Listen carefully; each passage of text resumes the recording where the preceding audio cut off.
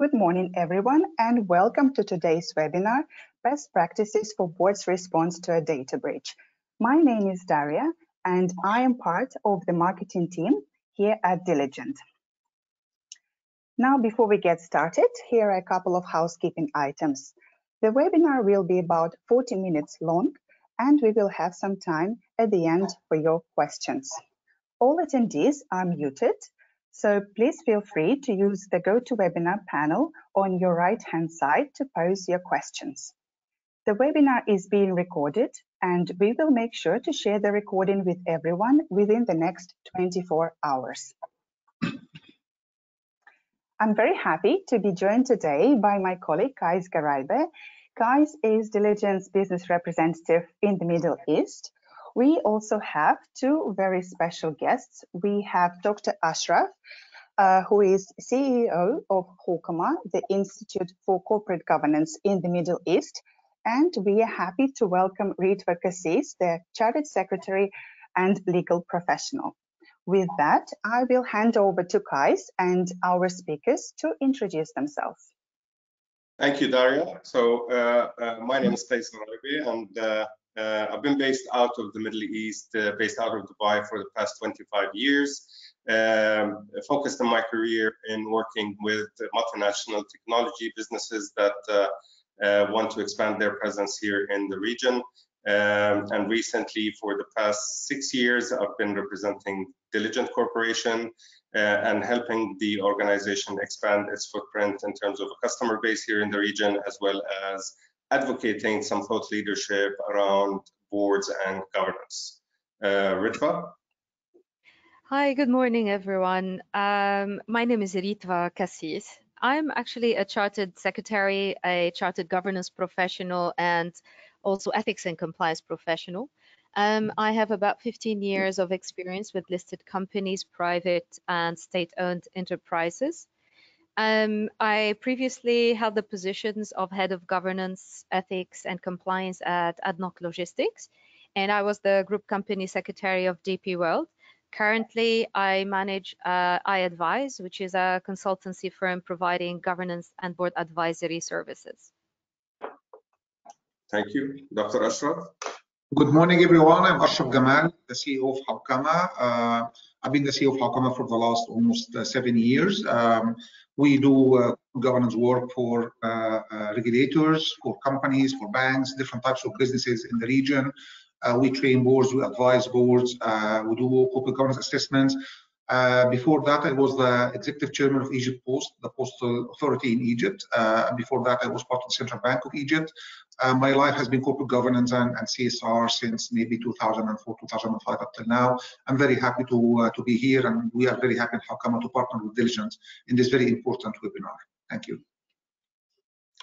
Thank you. So um, uh, today's topic that we're going to discuss is related to cybersecurity and the um, uh, role of the uh, board of directors when it comes to a cybersecurity breach. Um, we are going to cover in today's agenda the key responsibilities of the board before and after a cyber incident. We're going to talk about some of the main building blocks of launching a response plan and the association of the board with it. Uh, we'll cover also uh, how an organization that is under a breach can establish a secure communication channel. And then we will touch also on what are the coordination activities that needs to be done with the law enforcement and regulators uh, in the case of a breach and the associated notifications. And after that, we will open uh, the door for some Q&A from our audience. Um, uh, so uh, cyber security is becoming a, a, a uh, increasingly more important and uh, uh, taking the attention of organizations across different levels. Um, uh, that's what we're going to talk about today. But before we do so, we would like to first get the audience view on how uh, cybersecurity is being addressed uh, with its relevance to the board. So uh, you see in front of you on the screen a question uh, with a number of different uh, uh options to answer. Uh, so if you don't mind just taking the next 30 seconds to uh, look at that and, and to address it. The question is, how does your board and or your company handle cybersecurity? Is it occasionally on the board's agenda as a topic? Is it on the board's agenda at each meeting and part of a risk report? Uh, is it on each agenda tracked with metrics, tested uh, with, uh, with proper response plans? Or is it viewed as a responsibility of the executives and key uh, technical experts? Or is it not closely mentioned uh, or monitored by the board of directors? So please go ahead and, and answer. In the meantime, uh, I'd like to get Dr. Ashraf's guess. What do you think is, is most likely to be the uh, most popular answer among the audience? well, actually, I don't want to preempt uh, the, the, the, survey, uh, but again, because we, we do a lot of work with boards in the region, and, and part of what we do is we look at the board agenda and the board folders and, and, and topics they discuss on the board and the time allocation for that. So we do have a very clear idea about you know what's really happening on the ground. So I hope that people, when they respond, they are not talking about the ideal world, but talking about reality, you know, in their own companies, their own boards, their own management, and, and, and let's see, and then I will share with you uh, what we see in, in, on the ground in, in, the companies we deal with. Wonderful, thank you. And Ritva, what do you think? Well, I'm gonna just support Dr. Ashraf because I'd, I'd like to see how people will answer, um, and I can share my experience, practical experience from being a board secretary for a few years. Um, where this topic existed uh, and how it actually evolved, um, say from 2000, 2015 onwards, and now with the, with the pandemic, how it has changed the dynamics of what the board has on its agenda. Absolutely. Uh, I can see that there's a lot of development uh, that's happening in this topic, and uh, thank you, Daria, for uh, showing uh, the outcome of the uh, poll, as you can see here, there's about 36% of the audience that have responded uh, believe that it's not closely monitored by the board of directors. I personally have guessed that this would be the case, but I didn't share it earlier. Uh, about 24% view it as the responsibility of executives and key technical experts, which kind of ties along with the with the previous statement. 0% uh, uh, see it on the agenda uh, tracked with metrics and tested response plans. Uh, and uh, about 20% say that it's on the board on the board agenda at each meeting and part of a risk report. another 20% see it as occasionally on the board's agenda as a topic. So this is quite interesting and sets the stage quite nicely for the uh, uh, scope of the um, uh, webinar that we have today. So hmm. uh, let's share with you some data points uh, that we have about the topic. Um, and about, uh, so first of all, cybersecurity um, uh, or cyber attacks uh, are, are, being witnessed almost every 39 seconds around the world. So if you take a view around the world and you, you're tracking every cyber attack that's happening, uh, we're seeing a cyber attack happening in almost every 40 seconds.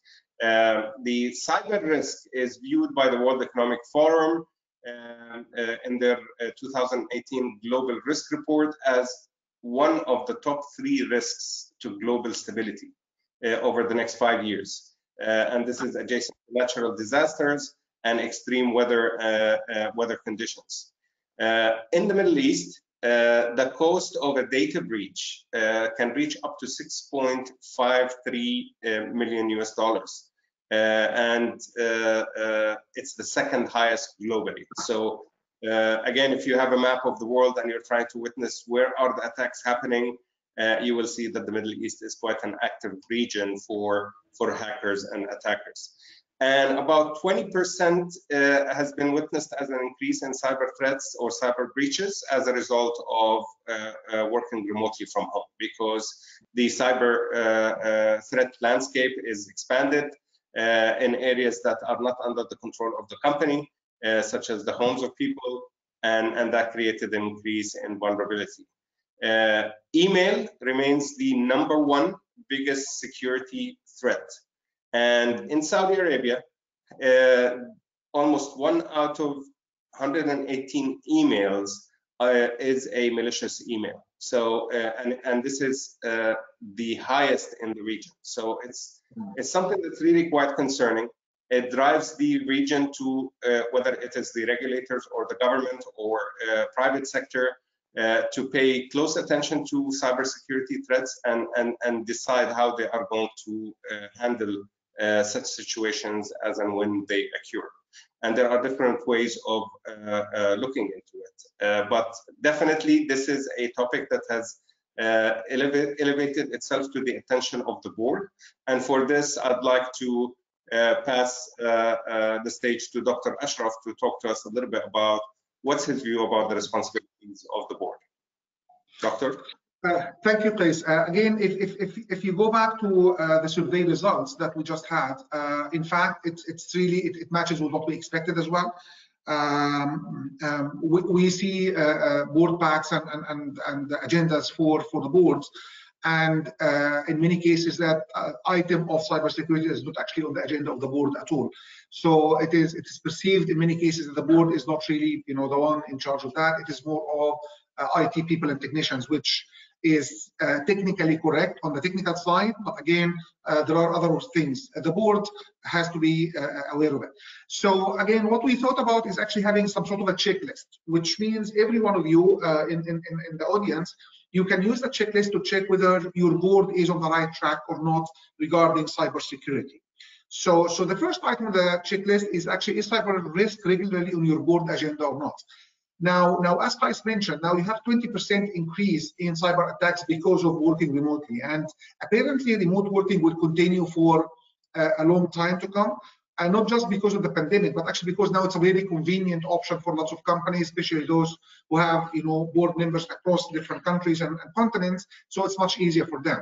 So that situation will continue. So the cyber risk has to be an item where it is visible on the agenda of the board and they are discussing it uh, regularly speaking. Second check uh, uh, uh list uh, point is actually, does the board understand all the threats the company is facing? Now, uh, in, in, many cases, you might talk about cybersecurity and cyber risk and so on, but do board members understand what we mean by that? Do they really understand what are the issues at stake there? Do they understand what kind of risks the company might be facing because of cyber attacks and how much they'll be losing? I mean, Qais was talking about billions of dollars actually of losses happening because of cyber attacks. So, so again, this takes us to the uh, idea of board composition, who is actually on the board, do these, some of them understand uh, uh, IT and cyber uh, or not? do we have regular training for the board to understand these things or not? So that's the second item on your checklist. Uh, third item, uh, does the board understand that uh, their accountability in this? So again, on the survey that you that, that we just had, you had again the you know a lot of people thinking that this responsibility is for the IT and for the management and for executives, which is okay.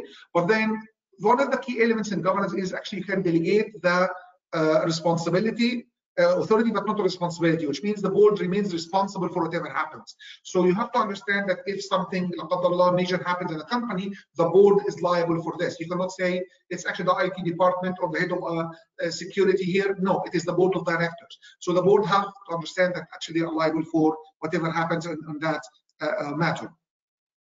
Now, uh, do, do, you actually understand, does the board understand what kind of assets are under threat? I just give you one clear example. I mean, last year we had uh, a press release by one of the uh, uh, big German automakers, and what they said is that they have suffered a, a cyber attack, and that cost them 40 million euros. In that press release, what they said is this is not the first time that the company has been under cyber attack. However, it is the first time this includes financials. What that means is sometimes your, your competitors or others are not looking for money. They are looking for competitive information about you, for maybe patent rights, for uh, projects you are working on, for proposals you are drafting, uh, uh, and, and so on. So, so sometimes you might not even feel that you have been hacked or you have been attacked. So this is a key element for the board to understand that you do have assets other than money that other people might be uh, looking for. Now, did actually your board ensure that the company addresses cybersecurity in the right way and the vulnerabilities that you have and the risks that you have dealing with third parties. In some cases, you know, all companies, of course, deal with suppliers, with third parties, with consultants, with experts. Now, sometimes, of course, they have to sign NDA, and, and then you start sharing documents with them. Now, these documents are risk if they don't have the right systems as well. So it is not only about you having the right system to, to protect your, your data and information and, and, and so on, but it's also when you hand some of this information to third parties, I have to make sure that they do have the right systems in place to protect that sort of information I'm giving them. And then finally, does the board actually review and approve cybersecurity policies and procedures? So yes, the management is in charge of the implementation, but the board has to ask all the right questions and we have to understand that policy and we have to feel comfortable that it is enough to protect our assets in the company and we are covered. Again, the management might have so many things to handle, but the board looks at the strategic issues. One of that is risk, and one of that now is cybersecurity. So this very brief checklist will tell you whether your company is sort of protected or is it on the right track, or maybe you need to improve a few things. Please. Thank you, uh, Dr. Ashraf. I'd like to add uh, a few comments as, as, as an example of uh, what Diligent is doing in, in this area, uh, because we really believe that it's a best practice and, and we take the extra mile to make sure uh, that we're looking at cybersecurity in the best possible way. For the audience, uh, Diligent uh, secures communication of of and of board material for the board of directors and automates the board related processes. So all the information related to boards of all of our 19,000 customers globally uh, is running within our secured environments. And the company has to take extreme measures in order to protect this data because this is the bread and butter of the company. So uh, uh, uh from the executive management and below, uh, we do a lot of different things related to uh, cybersecurity. So we have the technical experts that are uh, leaders in this space globally that are working with us to ensure that our environment is quite secured. We have established policies and procedures to make sure that our uh, uh, employees are educated and uh, uh, they are aware of how to protect the organization's assets from cyber threats.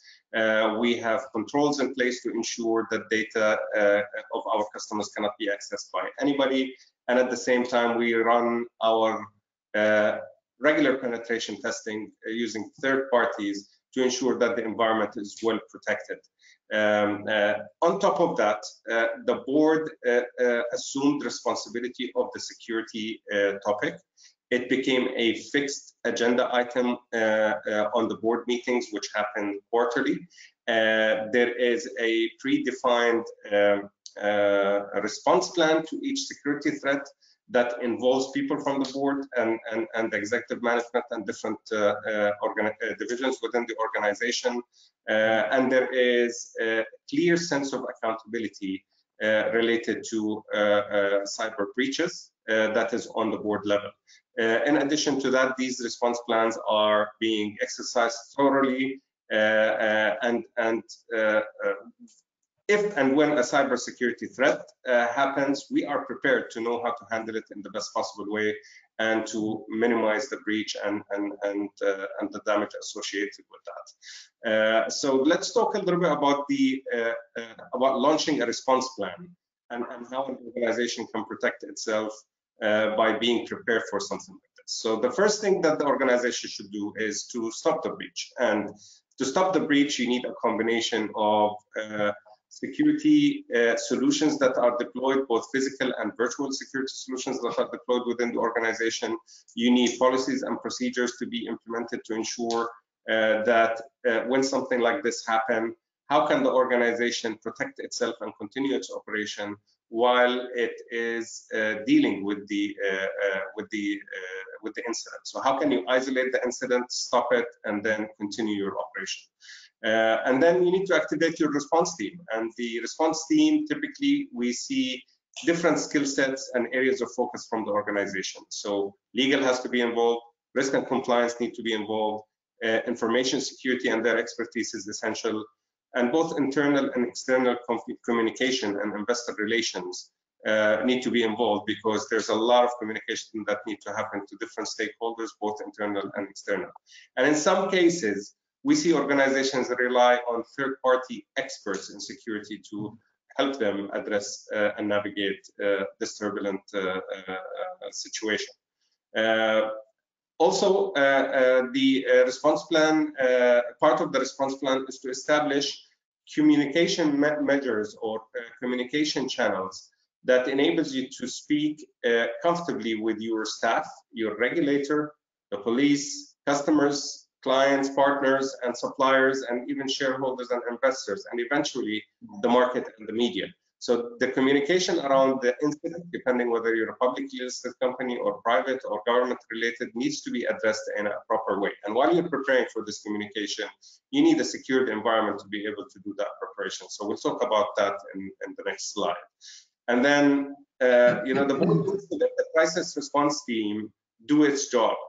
Uh, so the board should maintain some level of distance while monitoring the situation to let the experts take their job and at some point, they may consider seeking or soliciting external reinforcement if the internal resources are struggling with the attack. And in, in some cases, uh, you know, if the internal resources are struggling, it doesn't mean that you are uh, underperforming. It just simply means that you're dealing with something that is new and you might need to reach out to get some external help in order to help you address it in the fastest way. So, so uh, when it comes to security uh, breaches, there are three things that organizations would try to uh, uh, achieve. One is how you can detect the threat as fast as possible. The second is how you can analyze the threat so that you know how to respond to it as fast as possible. And then third, how you can respond to the threat in the fast, fastest possible manner. Dr. Ashraf, you wanted to add any comments on this before we move on? Oh, well, actually, I think the best one to who can add to this actually is Ritva. Ritva have uh, considerable experience in, in that area. So if, if Ritva can share with us her own uh, insights uh, and input on that, that, that would be great. Ritva? Yep, thank you, Dr. Ashraf. I think from my perspective and what I have seen in in in practice, the the key elements is that the rapid response plan is activated automatically that it is properly detailed. It is very important that it is defined and structured to handle you know any cyber threat or or any breach because it will allow the teams on you know on the ground to actually as uh, Qais had said to detect and identify find a quick solutions to minimize the damage and to stop it and also to actually stop any subsequent attacks that could happen. You know the, you know they attack you one it's like uh, an earthquake you know you have those repercussions afterwards. So the the skills of the response team are very are key. Talking about communication um, as we said, when you know ransomware, malware, whenever they hit a company, they spread so fast and they can cause catastrophic damage. Everybody knows that. It could actually compromise your communication plans. So the response team needs to have in place a parallel secure communication um, routes that they can use to communicate with the key stakeholders, whether it's executive management, board, uh, etc., to make sure that they that they can speak to each other um, in a secure environment without any further risks of breaches. So and on top of that, it's not just the secure channel, it is also to have details of how to communicate and what to communicate to each stakeholder at the right time. So the what, how, and when are key elements to be in that response plan. Because when the team is dealing, it's chaos it is um, high you know it's high pressure is fast paced so having a clear guideline is critical for them to get things done you know um, in a sequence and and on time. Another one is i've seen an example where an attack has actually put a whole company to a halt. This is where business continuity triggers.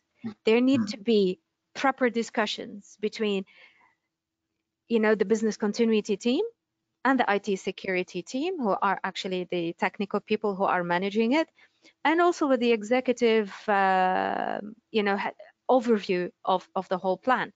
Because if that happens, if, if you're a bank or if you are a, um, you know, a health provider or, you know, any other type where you need to make sure that your services are you know not interrupted business continuity they cannot be you know handled in silos they need to be speaking to each other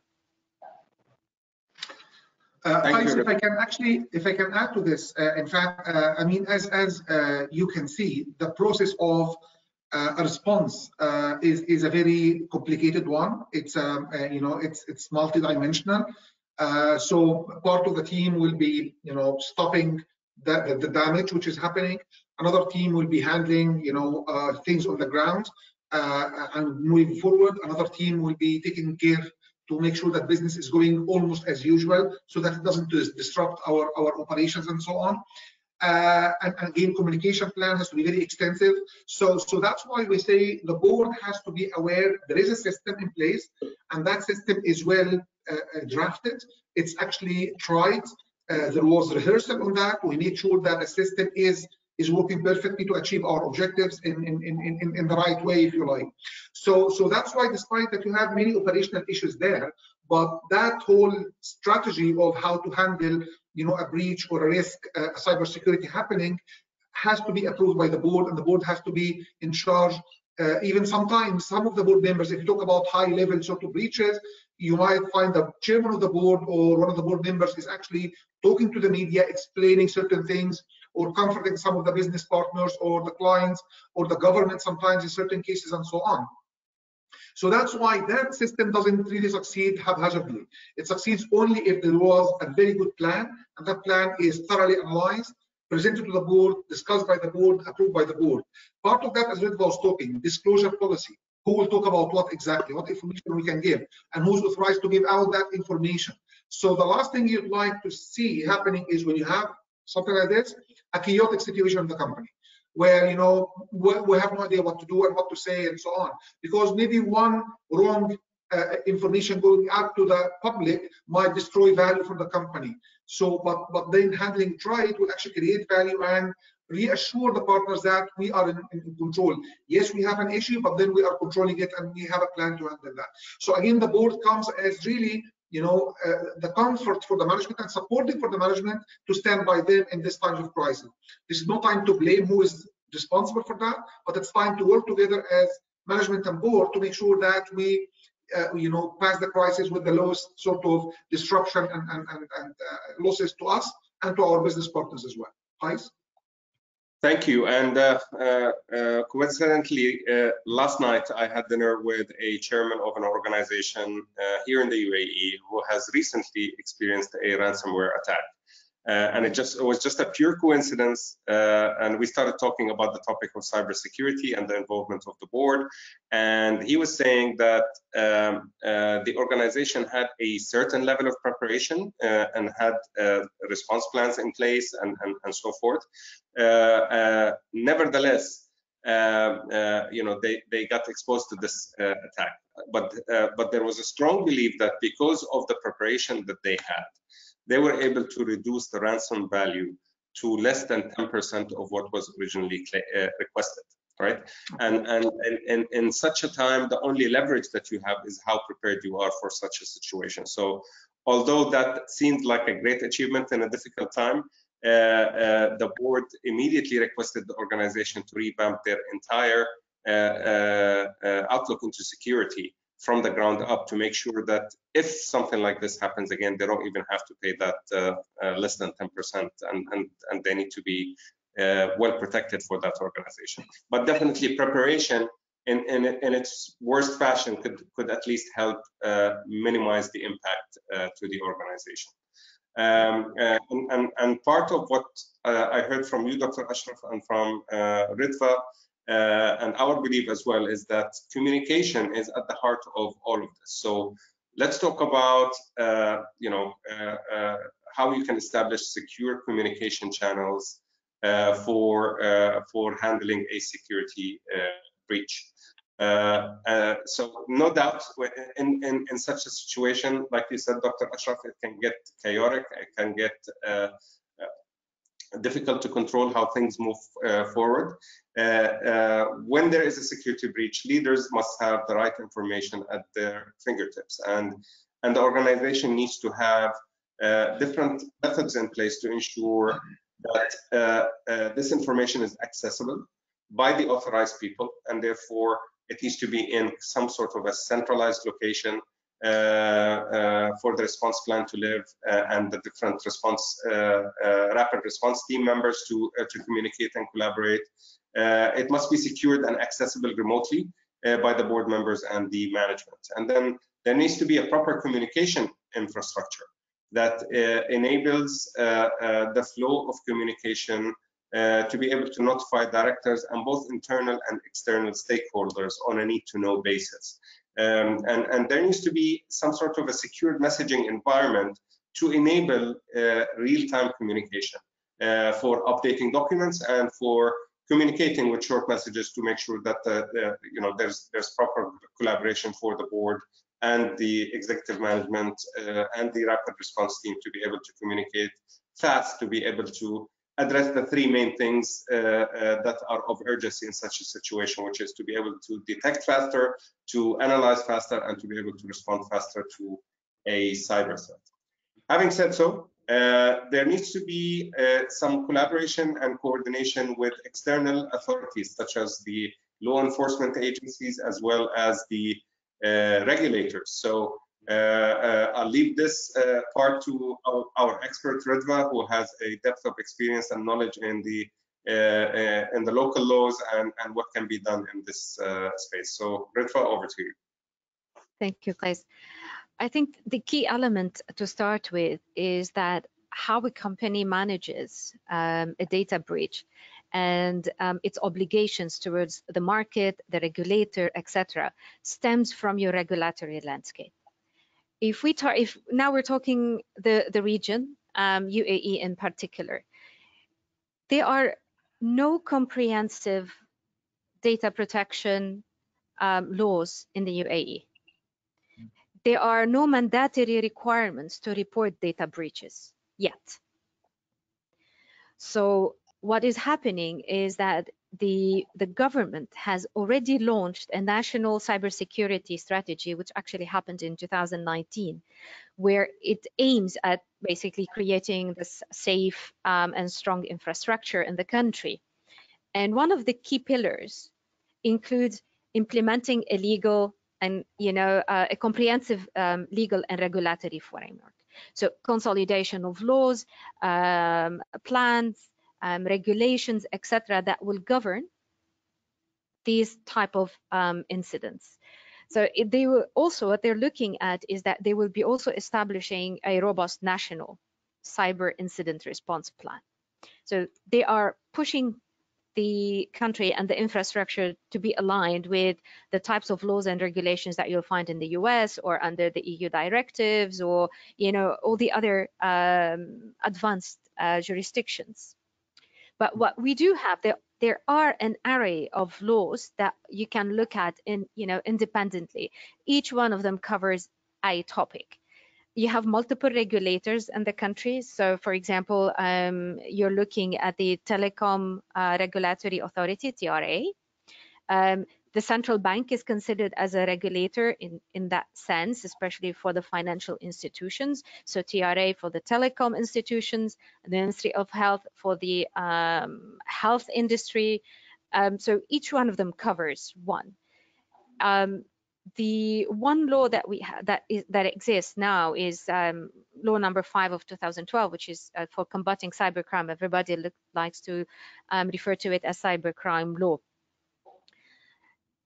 But in my experience, the federal entities, you know, the the government-owned companies. I've worked mostly for state-owned enterprises, whether acting um, as an independent entity or, or, not.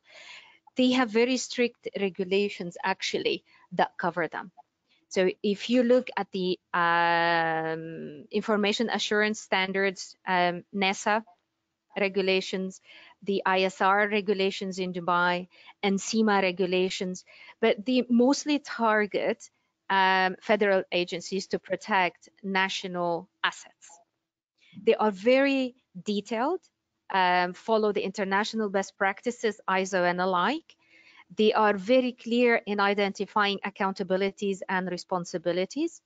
And you will find in those that the responsibility is put on the board of directors, Mhm. regardless of how they will delegate, which is something we will cover in the in the next slide. Um, and what could happen as well is that um, the entities that have been subject to a breach. And in within their internal investigations they were able to gather the the data the evidence um, secure it in the proper ways which are internationally identified that would be admissible in the court of law. They could seek law enforcement assistance. So the police may enforce and assist later on also you know enforcing criminal sanctions against certain violations but to do that obviously each company needs to have as we said the right response plans investigative skills the technical skills to manage and collect everything that they can so that they can hand it over to the law enforcement who would then um, you know assist um, moving forward.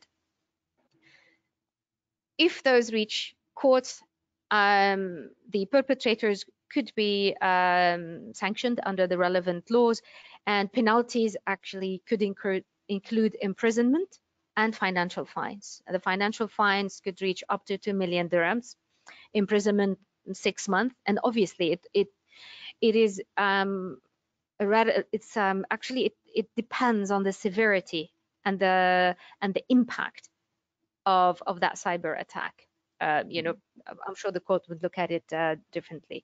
Another point I wanted to, um, I would like, I wanted to highlight is talking about the local initiative uh, to build a strong cybersecurity landscape environment, is that there is also a collaboration in the, you know, in, in the region for all countries to to work together um, to combat cyber um, cyber attacks and build a very strong um, information technology slash security infrastructure.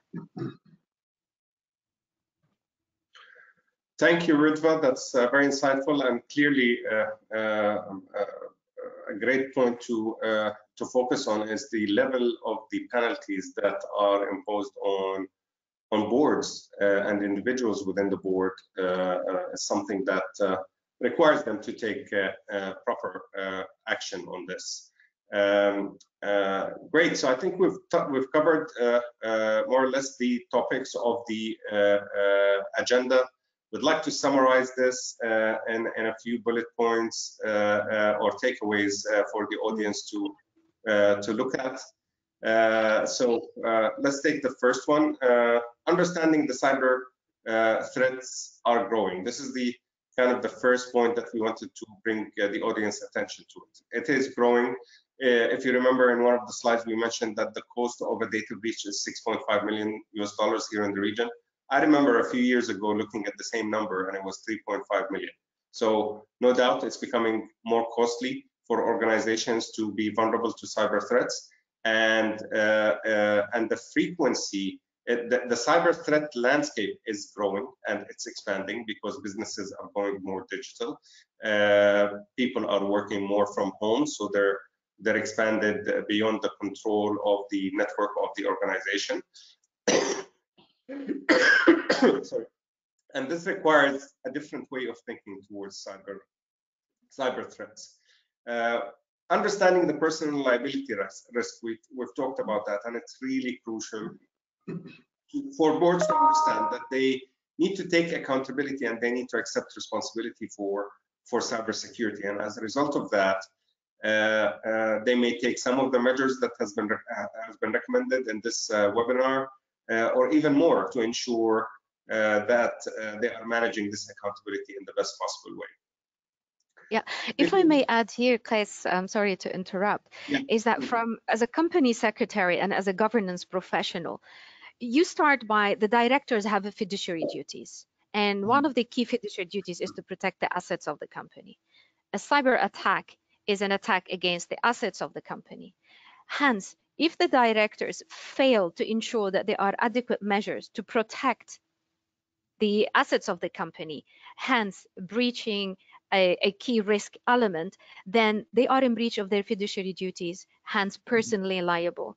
And one area every um, company secretary or a governance professional to to ensure that the attention is brought to the board and the board takes it very seriously in, to to have that agenda item on you know on their agenda as a regular item is to make sure that the board members understand the legal implications the uh, implications of them breaching their fiduciary duties, in addition to all the financial and business continuity consequences on the company as a whole.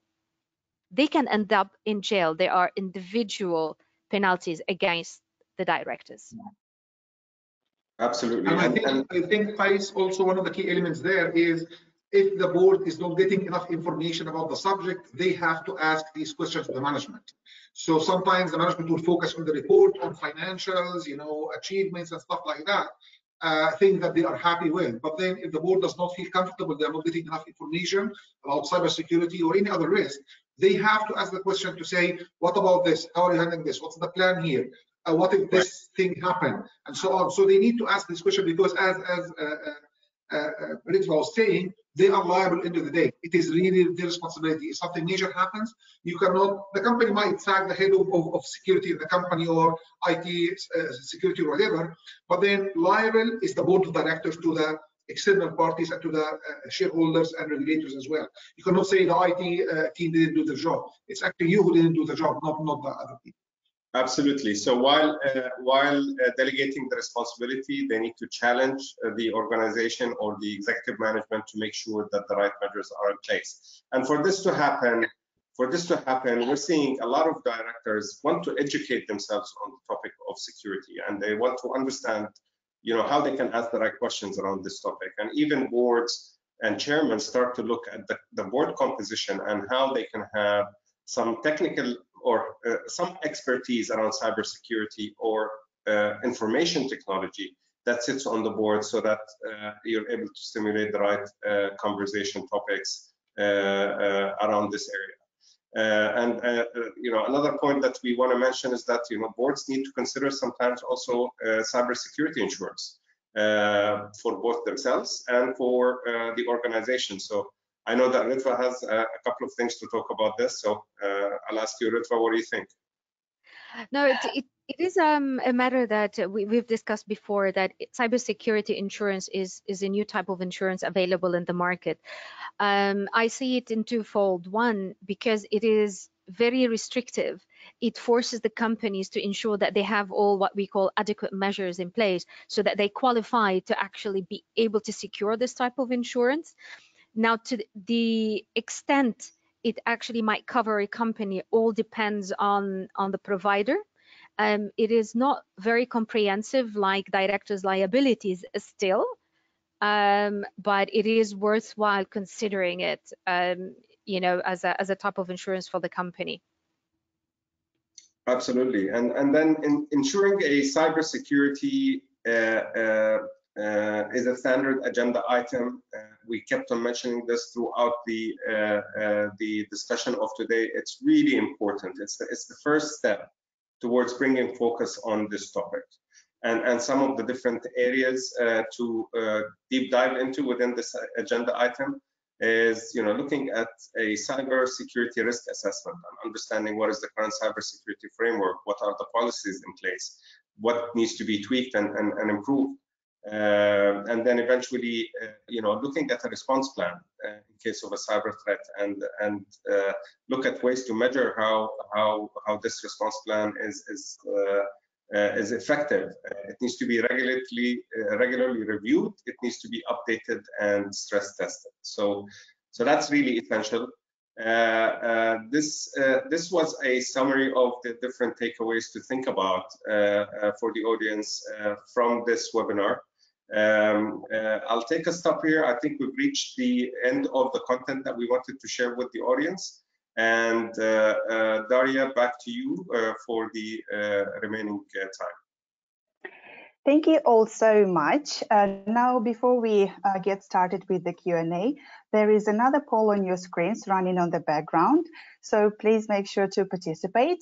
And now the first question is, do you think we have enough and up-to-date regulations in place to protect shareholders when it comes to cybersecurity? And this person uh, refers specifically to UAE and GCC in general. Perhaps Ritva wants to take it. Dr. Ashraf, would you have a view on this? Uh, I, I, think it's a legal question, so I think Ritva would be the best one to answer based on the regulations. Uh, do, you, do we have laws and regulations to protect shareholders against the losses caused by cybersecurity or cyber attacks? Is this actually a thing which is covered, Ritva? Um, look, I'm, I'm not going to say I'm a lawyer, but um, I've, I have uh, some level of uh, information around this. As I've as I've said uh, previously, is that there isn't a very comprehensive law in in in the region that actually provides this cover. These matters are dealt with under different other types of laws, um, depending on whether uh, the company has secured evidence, um, data. They have solicited maybe external expert to help them um, manage the incident and and create a, a proper case, etc. They can they can go after perpetrators, um, you know, under the penal code, under the telecommunications um, regulations, um, etc. But there isn't one particular um, law that actually provides that. Unlike what we see um, like in, in, in the EU or in the US, where you have a specific clause in black and white where it forces the company to act in a, in a certain manner and compensate its customers and or you know the losses how they deal with shareholders minority shareholders etc um, unfortunately i do not have further information on this topic um, from a local perspective and uh, we have uh, time for one last question. What training and support should be offered to directors, do you think? Um, in terms of training and information, uh, number one is to to get them to understand the impact on them as as individuals, so the personal liability uh, stemming from starting by breaching their fiduciary duties. Um, giving them also depending also on the industry that they are they operate in give them a high level technical um, training on the impact and how it could happen. And the training is not just for board members it's actually for the whole company because the number one reason of security breaches are individuals. It's people like you and me sitting behind our desk opening emails and attachments we're not supposed to giving an open door so the awareness of the board members and the rest of, of the employees in the company on what phishing is, what malware is, what ransomware is, what forms it can take, how you could potentially look into it, and if you suspect your email has an attachment that you haven't solicited, etc., don't open it. Call, you know, the experts for them to see. Um, and if the board members, they are members of a, a, highly regulated entity or they are in an industry like telecom or IT, like Diligent, for example, I would expect to have at least one board member who is tech savvy, who has information security, um, you know, background, whereby the board members can actually learn from from each other as well. So we start from the governance slash legal li personal liabilities, which makes them listen in, in, in essence.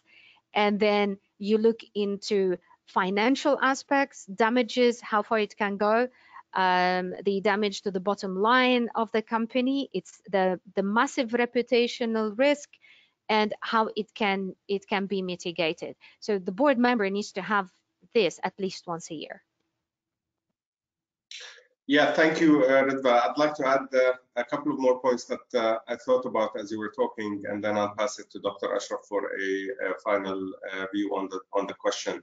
I think uh, boards are becoming more and more encouraged to solicit external uh, uh, consultants to give them regular updates about the threat landscape, about the measures and the responsibilities of the board and what they need to take and I think uh, also uh, what you rightfully said with regards to the composition of the board, uh, it's important to have somebody who's experienced who's who, uh, in this topic that's continuously uh, uh, provoking the discussion about this topic and what the organization needs to do. Dr. Ashraf? Well, I mean, I, I agree with what uh, and, and, you said, Kais. What I add to this, actually, when we approach boards of directors and that, what we uh, emphasize is number one, the fiduciary responsibility that they do have. So they are uh, responsible to protect the assets of the company, uh, and they are also uh, uh, uh, responsible for the rights of the stakeholders. So because sometimes companies do have data coming from their own partners and suppliers, so actually other companies might be damaged because of our lack of cybersecurity. So again, we are liable for that. So we have to understand this. But also we, we are, are saying that you don't really need to be, you know, IT savvy or something, but you have to understand the key issues. So I think regular uh, updates to the board of what are the risks, what are the issues, what kind of, you know, uh, uh, you know, uh, breaches we're talking about, what kind of damage we're talking about. This is very important. And then also because, you know, you know, the board, you have sometimes information security committee or you have audit committee taking care of that. So what we say is, uh, there is you know something which which which is uh, IT governance and audit. You have to understand the fundamentals of this. Again, you don't need to be an expert, but you have to know what is it that you are looking for. So when you have an audit committee looking at you know audit reports coming about the IT uh, information technology and and, and and systems, we have to understand what we're asking about. And that's why in two weeks' time we're having actually a course focusing on this from a high level of you know the board and top management. What is it that you have to understand? It doesn't end up you being an expert in IT cyber, cybersecurity or IT security, but then you have to know the issues. So again, even as, as, as you said, guys, if, if I'm using a third party for that, but I have to understand the fundamentals. So I need to be guiding the third party to my own interest, not their own interest in that respect. So, so this is really, I think, a key, a key element. But again, as we said at the beginning, it all starts from the board of directors. So you can literally leave all this saying the management will take care of it. I have to ask the right questions. I have to make sure we have the frameworks in place. I have to make sure that it's being tested. And, and as Ritva said, it is then uh, each one of the company who have to understand, you know, how the company can be damaged from his or her own side by a wrong email or a wrong attachment or, or whatever it is. So I, again, it's really it's it's uh, it's it's everyone's job. But then the board has to make sure that it is happening correct because ultimately they are liable for whatever happens in the company uh, end of the day. Kais? Thank you, Dr. Ashraf. Thank you, Ritva. Uh, I believe uh, we have reached to the end of uh, today's webinar. And also thank you to the audience for uh, uh, being with us throughout this time. I think we have over 50 mm-hmm. attendees that uh, stuck with us all the way to the end. We hope that you found the content relevant and of value. Um, Diligent is, is, is very experienced in this domain and we can advocate a lot of thought leadership on, on this topic if you're interested in hearing more about what we can help you with uh, in this uh, in this area with regards to the board's responsibilities and their their the, the, the different tools that they can use in order to uh, be able to handle such situations in the most effective way, uh, please feel free to reach out to us. I know that uh, Dr. Ashraf and Hawkamah have an, uh, an, extensive level of expertise also in this area, so please feel free to communicate with us and to reach out to us if you would like uh, to hear more about this topic. Uh, uh, we will be sending a follow-up email with the recording of the webinar, and, and please feel free to communicate with us if you would like to keep the conversation going. So thank you from my side. Again, thanks a lot for everybody, and, and, and thank you, Dario, for organizing this event. Thank you all so much, and uh, we hope you found the discussion valuable and insightful, and have a great day, everyone. Thank you, everyone. Thank you. Thank See you in other events.